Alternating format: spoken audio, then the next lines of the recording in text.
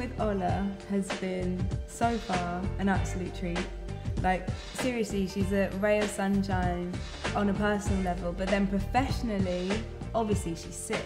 Like I, I came into the rehearsal thinking that I was gonna be like rubbish. I was so nervous, but I came out feeling like Beyonce, honey. I feel very comfortable working with Ola. I was 100% myself during rehearsals because of the vibe she was creating. Obviously, there's the "ooh yeah, girl" side comments that make me feel like a million dollars, but then also like this pace that she was going at. You know, she like she, she just knows when when you need to slow down or when you know you've got it. And yeah, she's just pro. She's pro.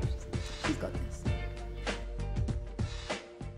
I find working with Ola very easy. She's very encouraging. She makes me feel like I'm doing better and uh, she's very detailed about her instructions. She makes it easier for me. Uh, I find it difficult sometimes to pick up steps really fast. She's very comforting and she, she's very thorough with the way that she teaches. She makes me feel like I'm getting better, so that, that always helps. I find her choreography very challenging, which is a good thing because it helps me expand my growth in dance. Never makes anything feel awkward. She never puts any stress on me.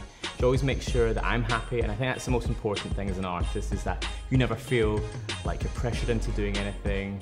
Not to mention she's a dope choreographer, and she's just an amazing, incredible spirit.